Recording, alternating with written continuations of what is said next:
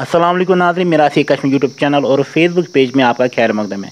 जैसे कि आप सब जानते हैं इस यूट्यूब चैनल के ज़रिए से और फेसबुक पेज के ज़रिए से हम मल्टी टैलेंटेड यूथ के साथ बात करते हैं जिन्होंने किसी न किसी फ़ील्ड में नाम कमाया होगा। आज हमारे इस प्रोग्राम में एक तालब इल्म है उनका नाम है कामरान शाह। आइए हम उनके साथ बात करते हैं। सबसे पहले हम उनको आज के इस प्रोग्राम में खैर मकदम करते हैं। असल वालेकुम अस्सलाम। कामरान साहब आप बताएँ कि आपकी पैदाइश कहाँ हुई?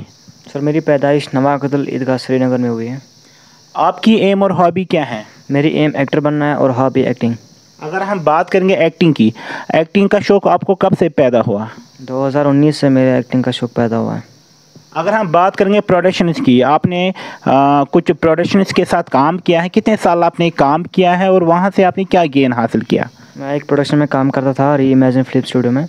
वहाँ मुझे ये एक्सपीरियंस हासिल हुआ कि जो जो बंदे बाहर से आते थे अलग अलग स्टेटों से उनके ज़रिए से मेरी एक लैंग्वेज डेवलप हुई और मेरा जो बिहेवियर वो भी डेवलप हुआ और एक्टिंग के फ़ील्ड में थोड़ी सी नॉलेज और हासिल हुई और ये मुझे अच्छा एक्सपीरियंस हासिल हुआ इस प्रोडक्शन से।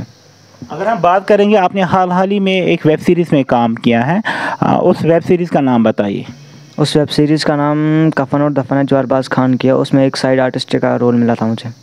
हाँ ये बताएँ कामरान साहब, ये तो आपने वो अपनी वेब सीरीज़ के बारे में बताया जिसमें आपने काम किया है।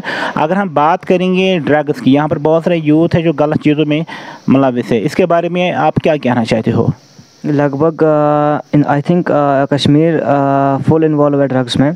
तो मैं चाहता हूँ कि यूथ से जो ड्रग कर रहे हैं ना, उनसे थोड़ी सी दूरी बना के रखे। और जिनको पता है कि ड्रग जो ड्रग कर रहे हैं तो उनके साथ बैठना बैठना अच्छा नहीं होता। तो यूथ से मैं यही गुजारिश करना चाहता हूँ कि इन ड्रग्स और इस फजूल कारों से तो आप दूर ही रहिए, वो अच्छा रहेगा। अगर हम बात करेंगे स्पोर्ट्स में स्पोर्ट्स में आपने जो बहुत नाम कमाया है आप मैं कराटे में two times national gold medalist रहा हूँ। स्टेट में भी दो टाइम्स सिल्वर मेडलिस्ट रहा हूँ। और लगभग मेरा सात साल का एक्सपीरियंस है कराटे में। अच्छे तरीके से कराटे किसी का। आज तक आपने कितने अवार्ड हासिल किए? आई थिंक बहुत सारे। अभी काउंटिंग तो याद नहीं है बहुत सारे अवार्ड जीते मैंने। आखिर पर आप यूथ को क्या पैगाम देना चाहते हो? मैं यूथ को ये पैगाम देना चाहता हूँ कि जैसे मैं इस एक्टिंग फ़ील्ड में काम कर रहा हूँ अगर आप कोई एक्टिंग फ़ील्ड किसी फ़ील्ड में काम कर रहे हो तो आप उसी फ़ील्ड में फ़ोकस करो। बस ये मैं यूथ को ये पैगाम देना चाहता हूँ। नाजरन, ये थे कामरान शाह, जिनके साथ हमने आज बात की। उम्मीद करते कि आपको आज का ये प्रोग्राम ज़रूर पसंद आया होगा। जैसे कि आप सब जानते हैं, आखिर पर हम मेहमान को अपनी तरफ़ से सर्टिफिकेट प्रोवाइड करते हैं। आइए कामरान शाह को भी हम इस प्रोग्राम के ज़रिए से एक सर्टिफिकेट प्रोवाइड करते हैं। मुबारक।